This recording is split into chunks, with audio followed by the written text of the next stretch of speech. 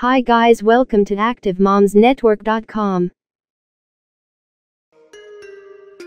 How to do squats to induce labor.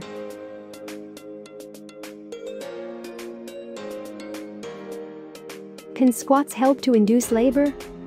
The squats make the muscles and ligaments in the pelvis to get through delivery with lesser effort in order to deliver a baby. It can open your pelvic outlet by 10% in order to induce labor. What else impact it does have? Reduce backaches, reduce constipation, reduce swelling, prevent or manage gestational diabetes.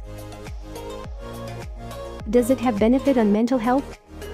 Positive impact on body and mind, increased self-confidence, increased sense of control. How to do squat to induce labor. Stand straight and keep your feet shoulder length apart. Lower your body and keep your hip few inches above the floor. The knees should not in front of the feet when you lower the body. Lift your body up again and repeat the same. Are there any pregnancy-safe squat exercise for induced labor? Let's look at some of the effective squat exercise during pregnancy. Body weight squat. The weight of the body may offer enough resistance for you to work out effectively during pregnancy.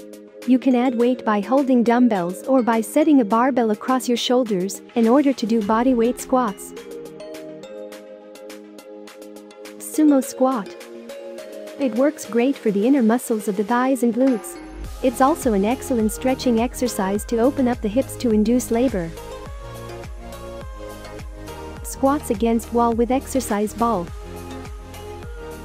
This squats exercise increases the level of instability to further engage the core muscles during the squat movement and helps to induce labor.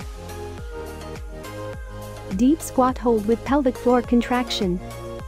This helps the pelvic floor a group of muscles that act like a sling supporting the bladder, uterus, and other organs.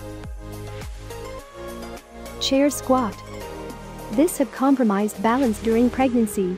The easiest squats to do during pregnancy to induce labor. Thanks for watching, don't forget to like and subscribe to keep yourself update.